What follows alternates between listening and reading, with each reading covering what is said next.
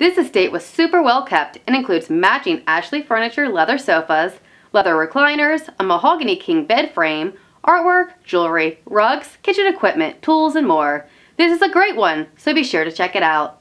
Hey, don't forget to like us on Facebook and follow us on Twitter. See ya!